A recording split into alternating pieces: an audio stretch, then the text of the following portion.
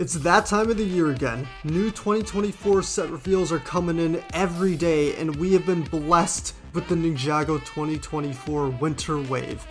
And let me tell you something, I hope you like mechs, because oh my god there are there a lot of mechs in this wave. What is up guys, Hfmasters here, and today we're going to be ranking the Ninjago 2024 Winter Sets. Now before I begin, I do want to quickly acknowledge that there is a second wave of sets coming out for Ninjago in March, which I don't plan to include on this list because this is going to be just the January wave, and the March wave will be its own separate thing. But since there has been one March set revealed already, I will go ahead and talk about that one in this video as well, just because some people are going to want to hear about it. So you guys always want me to talk about these stupid junior sets, so here we go. I will say, this set, it's a little bit better than some of the other Juniors mechs because they did drop that god-awful torso piece they've been using, but there's really nothing here that you can't just find in a better set.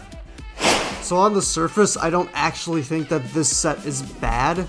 The dragon, it looks fine when you compare it to the other Juniors dragons that we've gotten in the past. I like the new wing pieces, I do think those are cool, although they are way too small to be used on a real dragon. The flame pieces, those are also pretty cool with the purple blending into the normal red. But, you know, there are some good things here, except this is a 120 piece set, which is somehow $40. Like, if this was a $20 set, I could see people wanting it. If it was a $30 set, I, would think it's a bit of a stretch, but Juniors always has these stupid high prices like that, so I could kind of get it.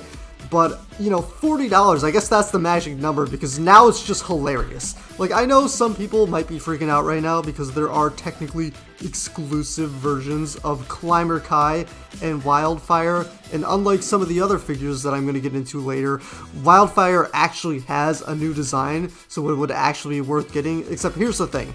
There's another set coming out in March called Kai's Ninja Climbing Mech, which is supposed to come with obviously Kai and then also Wildfire. So I guarantee that these figures aren't actually exclusive to the set, and you can just wait and get them in that set, which in all likelihood is going to be a million times better than this thing anyways. And by the way, this set right here is also a March 1st release, so it's not like you're going to be getting these figures a couple months early if you just wait to get that next set. So yeah, this set, it's a total scam. Don't buy it unless if it's like 50% off.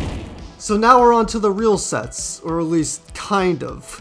These new Rising Dragon Strike sets are this wave's gimmick sets, and to be honest, I don't really know what they're supposed to be. At first I was thinking that they would just kind of be like the Chima Speedor sets, so you know, they would roll around and stuff, but the name of them also makes it sound like maybe there's a way that they actually jump up and then they fall down attacking minifigures. I honestly have no idea, but there are three of them, one for Kai, one for Nya, and then one for Arin. But the thing is, they're all the exact same set except for the minifigures and the colors, so you don't really have to get all of them if you don't want to. The only exclusive thing here is the hoods, which has some gold mixed in, but the actual prints on the minifigures are the same as the ones in the regular sets. So unless the function is actually secretly amazing, I don't really see why people would care that much about these sets. Jay's Mech Battle Pack is honestly really good for the price. It's $11, but you get 4 minifigures and a mech, and while the mech build is, you know, nothing amazing, it's not horrible by any means. It actually reminds me a lot of the Nexo Knight Battlesuit sets from like 6 years ago, and I really liked those sets at the time, so I'm sure I'll like this one too. Like I said though, the star of the show here is the minifigures.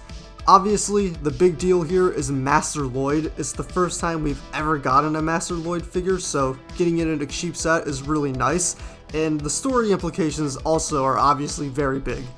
The new Jay is also exclusive here, and then you have the Wolf villains, which while they're not exclusive, they're still cool. This is a set which I just think is a really good value. Lloyd's Elemental Power Mech is the only regular set on this list that is a March release, and honestly, I don't love it. I just think it looks weird. It feels to me like it was designed to be a Samurai X mech, but then at the last second they changed their mind and just swapped out the primary color to be green because they thought Lloyd would sell better. Because honestly for me, the thing that I don't really like about this set are the colors. Especially the dark red and the green, which I just don't think matches very well. But the actual design of the set is good, and it's really the most different from the rest of the Ninja mechs, at least in terms of its look. The minifigures in this set are also good. This is the cheapest way to get Cinder, which is pretty cool. And this is also a good time to mention the big feature of this wave, which is that every single one of these mechs can be combined with each other in different ways. Every mech is designed so the torso, arms, and legs can all disconnect and then be swapped out to make different combinations with the other sets, which I think is a cool idea, but it also does mean that the basic designs of these sets are all going to be pretty much the same. Overall though, this is a fine set, but I definitely feel like it's a little bit weaker than the other ones.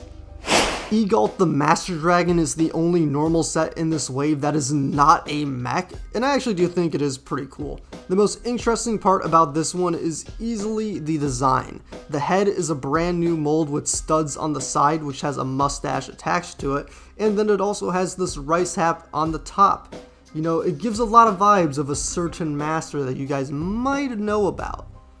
There's also a lot of fur detailing with these white flame pieces and spice kind of scattered along the back, which I think looks pretty good. And then you have the tail, which has a removable sword on the back of it, which is also kind of a cool idea. But then the rest of it is, you know, pretty standard for what you would expect from a Ninjago Dragon. I do think that this set would be a little bit better if the wings were white and they faded into the tan instead of being this darker brown which fades into the tan, but you know, that's something that doesn't really matter that much and is mostly nitpicky.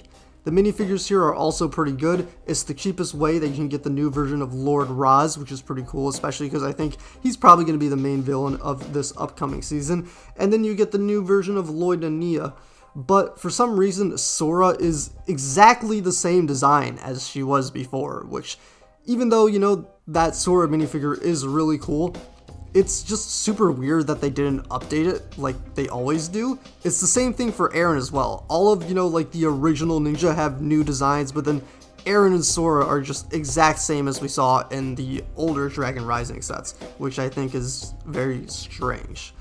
Overall though, this is a pretty good set, but for $65, I don't think the value is particularly great, especially compared to some of the other sets in this wave, because there is one thing that this wave does well, and that is value. Speaking of that, Kai's Elemental Fire Mech is what I think is the best overall value set of this wave because even though it is only $30, you get two mechs in it and both these mechs are pretty good. The wolf one, it's obviously smaller than the Kai one, but I actually do really like the overall slender design of it and these giant claws that it has. I also think that the wolf villains in general are pretty cool. I like all of them. The Kai mech is also pretty solid. There's nothing about it that really sticks out as being great, but there's also nothing bad about it either.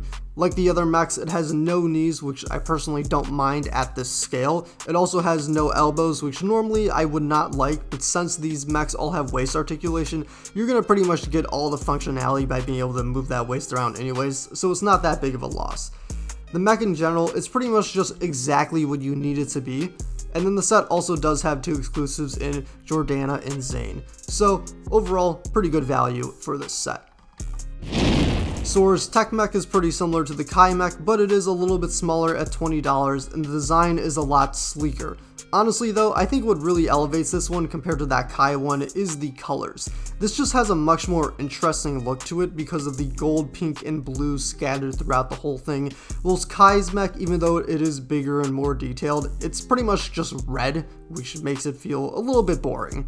Sora's mech also does have some good details mixed in, like the spots for her swords on the forearms, these new gold armor pieces around the waist, and then the blades on the back of the arms. This is also the only mech that has two weapons, being this double sword claw thing, and then also this saw, which I think looks really cool because of the trans pink piece. Also, there's this random tree that just comes with this set, which I didn't even realize was here at first, but it's here. It's got a spot for a minifigure, which is pretty cool. So, you know, that's a thing. So, even though this is probably one of the more simpler designs overall out of all of the mechs, it is still one of my favorites just because it looks really cool and it does everything it needs to very, very well. And for my favorite set of this winter wave, we have Cole's Elemental Earth Mech. This to me is the most unique design out of all of them, and it is obviously my favorite one. It's got a super bulky design that low-key reminds me of the Hulkbuster, but I also think it looks really cool. I especially love how they did the arms on this mech, which is basically double the size of the arms on the other sets, but they do kind of remind me of Cole's RX design because of the trans orange forearms which blend into the black on the top half of the arms, which I think just, you know, looks really cool. There's also this giant hammer build which fits in really well with the mech and Cole as a character. And then the legs have the pre-bent design which makes it a little bit shorter than the other sets. And normally I'm not a huge fan of the pre-bent knees because I don't think it looks very good, but because of the shaping of this new armor piece that they used on the knees here as armor, I actually don't really mind it that much. I also really like the feet build on this set, which is once again much different from the other ones, but I think they look really good. Minifigure wise, the Cole is exclusive to this set, and you do get one wolf villain, which is obviously good to see. So at $20, you get a really cool mech with, at least in my opinion, the most interesting design of the wave, and you also get an exclusive minifigure, which is an overall pretty good value.